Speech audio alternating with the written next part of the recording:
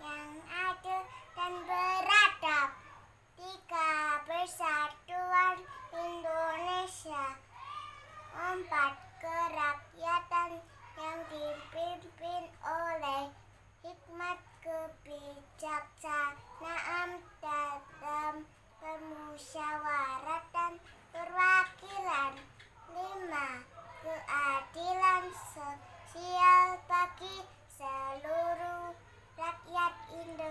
Iya, terima kasih.